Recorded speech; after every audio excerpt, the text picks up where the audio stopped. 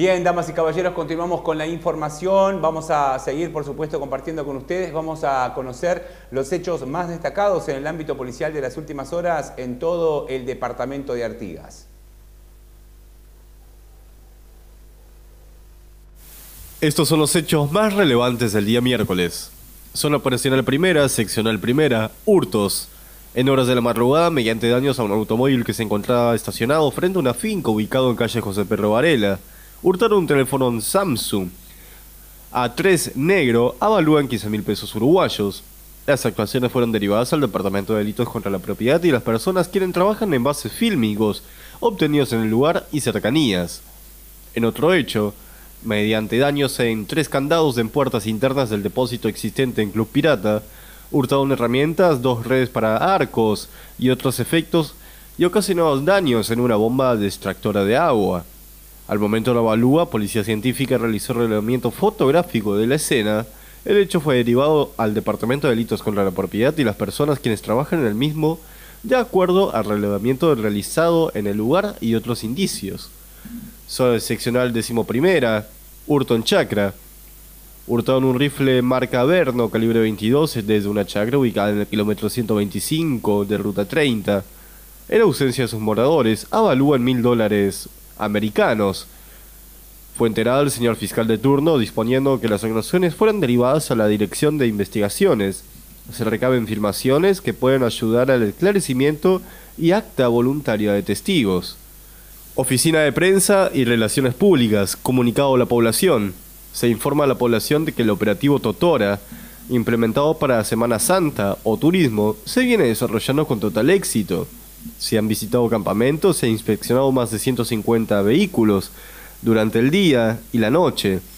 Estos días, debido al intenso flujo de vehículos y las personas, se intensificaron patrullajes y controles en zonas estratégicas como la terminal de ómnibus, plazas, rutas de accesos a la ciudad, Puerto Central, entre otros.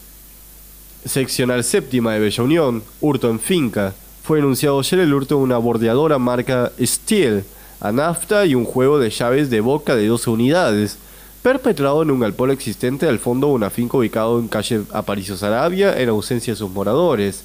Mediante daños a la puerta, avalúan 300 dólares americanos. La policía científica realizó el revelamiento de la escena correspondiente en el lugar.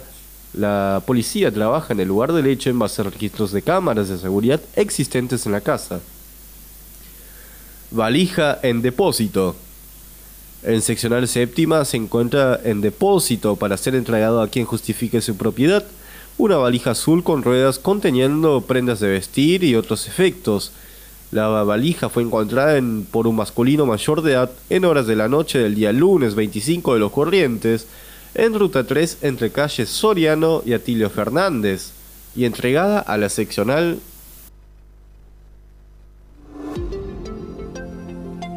presentó Prolimpio, especialistas en productos de limpieza.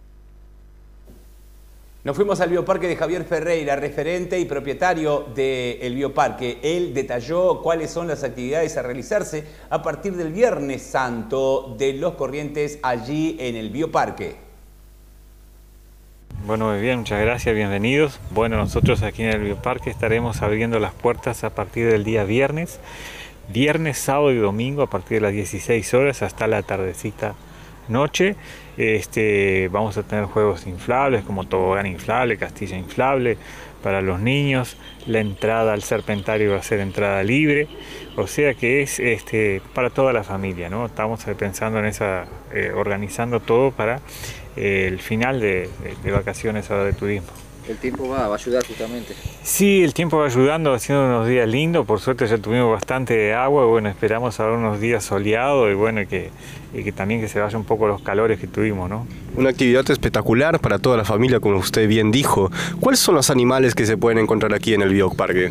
Y bueno, acá se pueden encontrar animales autóctonos y exóticos. Animales que fueron rescatados, animales que llegaron de otro parque, que se han recuperado tenemos los monos que son muy atractivos, los monos africanos, el león africano, las serpientes birmanas, serpientes asiáticas, con más de 4 metros y es un lugar eh, educativo también, ¿no? donde mucha gente digo, que no conoce, aprende, hacemos visitas guiadas, estamos ahí a disposición del público para que puedan hacer preguntas, aparte de toda la cartelería que tiene, ¿no? con nombre común, científico, origen, este, y que puedan sacarse sus dudas y, bueno, y pasar una tarde agradable en contacto con la naturaleza. ¿Cómo ha sido hasta la fecha las, las visitas en este comienzo de clase, por ejemplo?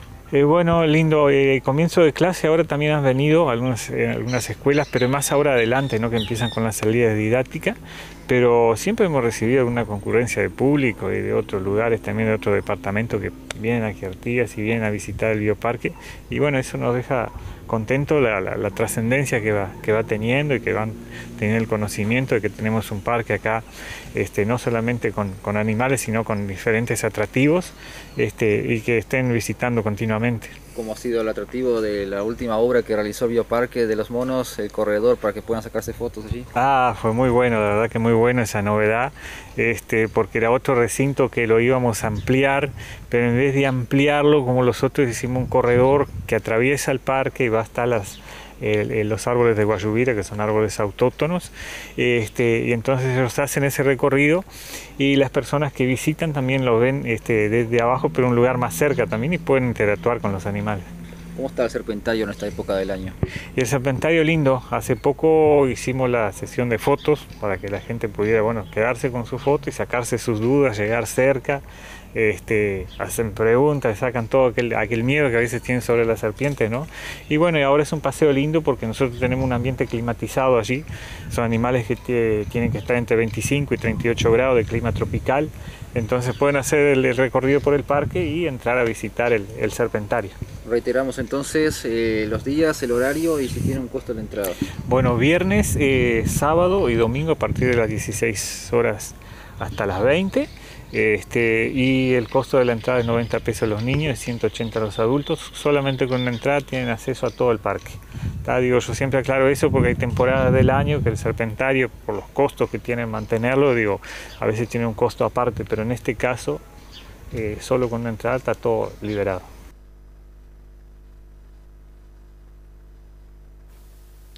Doroteo Saldaña, jefe de tránsito en nuestra ciudad, explicó los operativos de tránsito a llevarse a cabo en estas fechas de Semana Santa o turismo, como también los operativos para las 500 millas del norte.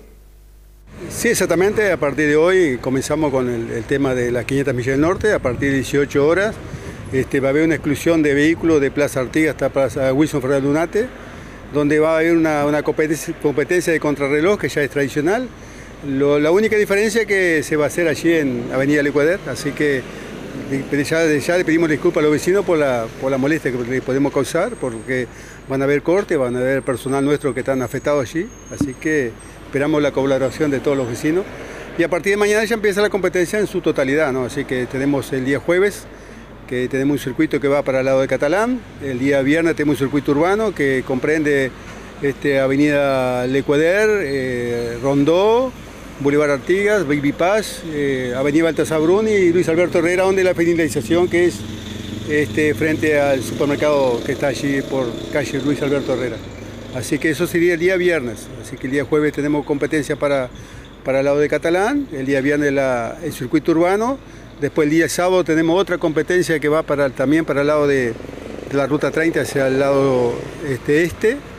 Y el, se cierra el día domingo que es la competencia va hasta hacia Cerro Amarillo. Bien, para la total de estas etapas, ¿cuántos eh, funcionarios van a estar trabajando? Sí, nosotros vamos a contar con la colaboración de todos los compañeros, así que son más de 30 inspectores que van a estar afectados.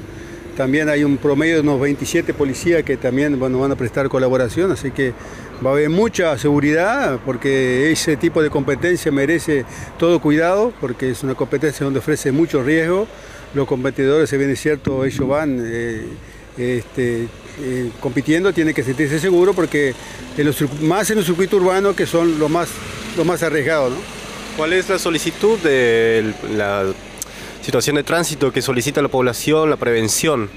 Sí, exactamente lo que nosotros pedimos, que en los lugares donde haya corte, que la persona no invada los lugares que están cortados y también pedimos a la gente que donde pase la, competencia no puede dejar vehículos estacionados. Nosotros ya hicimos un trabajo preventivo, eh, hemos sacado comunicado de prensa, hemos eh, este, distribuido volantes en los lugares donde pasa la competencia, así que estamos bien preparados para eso y esperemos que la población colabore como todos los años, ¿verdad? Paralelo a esto, también se realizan otros controles a los diferentes accesos a la ciudad también.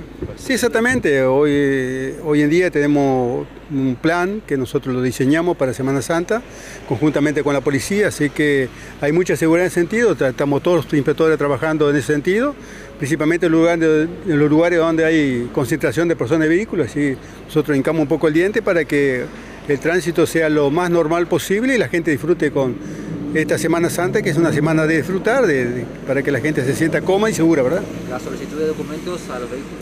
Sí, exactamente, los lugares donde hay control, que lo solemos principalmente en los horarios nocturnos, este, nosotros hacemos eh, controles especiales en aquellos lugares donde se implementa los controles, lo que se, le, se pide a los conductores es los documentos y la habilitación para poder conducir. ¿no?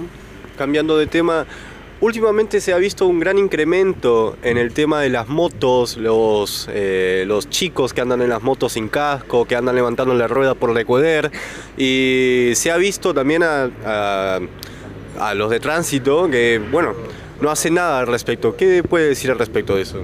Nosotros hacemos mucho porque en sentido sabemos que nosotros no podemos hacer persecuciones. Por lo general son vehículos indocumentados o vehículos que son de origen dudoso por lo general nosotros tratamos de identificarlos y los, y, los tratamos de sacar esos vehículos en lugar de origen, así que nosotros cuando ellos andan circulando tratamos de persuadirlos para que se, se, se retiren de acá, de la parte céntrica, y cuando ellos están en su lugar de origen, en los barrios, que nosotros sabemos dónde están, este, nosotros ahí lo, detenemos, porque ahí no ofrece tanto riesgo o cuando ellos detienen el vehículo. Eh, si bien es cierto, todos los fines de semana tenemos un promedio de 10 vehículos detenidos de ese, de ese tipo de vehículos, que nosotros no lo, sacamos a público porque no, vale la pena, porque son vehículos que no ni siquiera este, están registrados, un vehículo totalmente este, ilegal. Este, trabajamos todos los fines de semana en ese sentido. La prueba está que hoy tenemos un depósito que está desbordado de, motos, de motos irregulares, con más de 7.500 vehículos detenidos, así que el trabajo está a la vista y esa, y esa problemática la trabajamos siempre. Así que no se asusten porque nosotros, tránsito siempre está presente, sabemos que es una problemática, la policía también está trabajando en sentido, así que no podemos divulgar mucho, si no, no tiene sentido nosotros nuestra logística nuestra, y nuestra forma de, de trabajar inteligentemente. ¿no?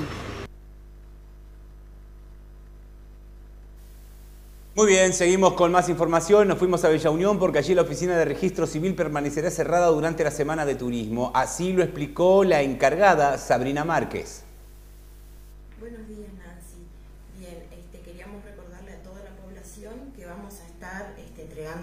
Hasta el día de hoy, que en Semana Santa este, la oficina de registro civil no va a estar funcionando, volveremos el lunes, primero de abril.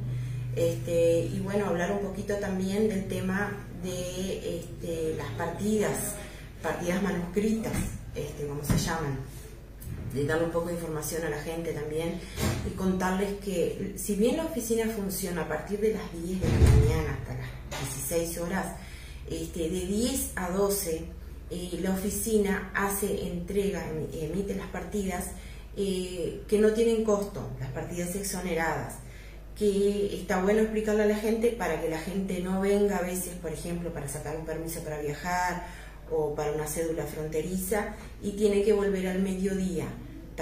Este, o sea que para credencial, BPS, escuelas, CAIF, este, todos eh, trámites públicos para oficinas públicas no tienen costo las partidas, para las cuales este, el horario sería de 10 este, hasta las 16 horas.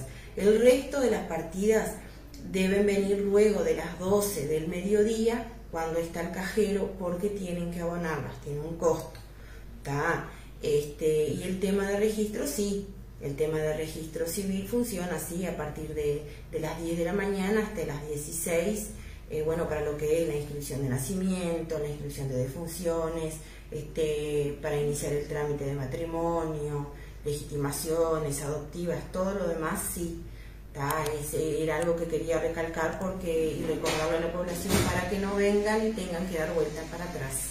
Sabrina, algo que, una inquietud que nos llega eh, frecuentemente a, la página es eh, qué es lo que se tiene que presentar al momento de inscribir un, niño. Bien, para inscribir el niño eh, hay que tener en cuenta que son 10 días hábiles, los cuales no cuentan sábado ni feriado, 10 días hábiles a partir del día, del día siguiente que el niño nació.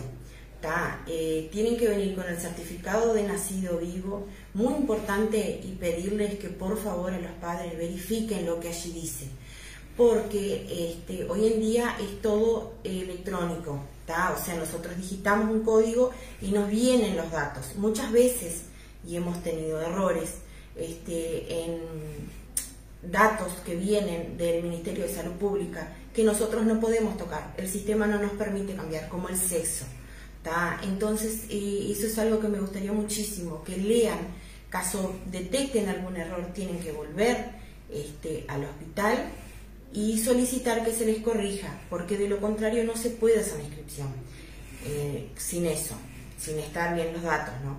Bueno, vienen con eso, entonces, volviendo a tu pregunta, con el certificado de nacido vivo, vienen ambos papás en el caso de que, de que no sean casados, que sean solteros, este, ya que el registro civil no reconoce eh, en sí el concubinato. Entonces eh, son solteros porque muchos vienen a veces y me dicen, no, pero vivimos juntos. No, para nosotros sería solteros. Entonces, y además, bueno, vienen con eso, traen las cédulas los papás y hacen la inscripción. Tener en cuenta, por favor, no pasarse los 10 días hábiles, porque una inscripción tardía eh, ya requiere muchos datos y necesitan testigos. Y en el caso de ser casados, puede venir uno de los papás trayendo su libreta de matrimonio para corroborar de que están casados y ahí sí se hace la inscripción. También 10 días hábiles, a tratar de no pasarse de, bueno, de eso. Ahí la cédula de los papás. Bien, recordamos entonces cuándo, regresa, cuándo regresan y el horario. Bien, el primero de abril, eh, de las 10 de la mañana hasta las 16 horas. Vamos a conocer la cotización de las principales monedas. Disfruta un verano soñado con los beneficios del Banco República.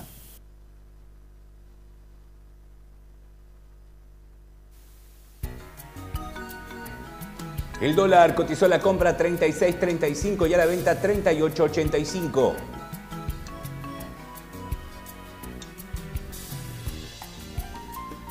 El euro a la compra 38.39 y a la venta 43.24.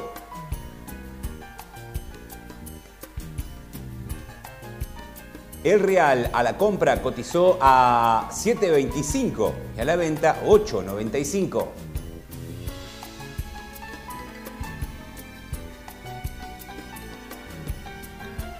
El peso argentino a la compra 0,012 y a la venta 0,20.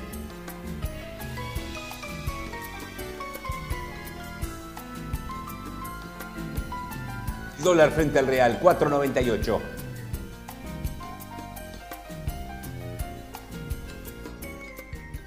Disfruta un verano soñado con los beneficios del Banco República.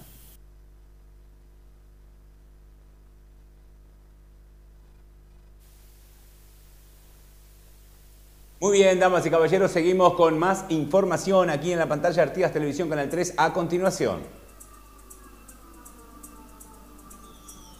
500 millas con Gran Premio Comaja.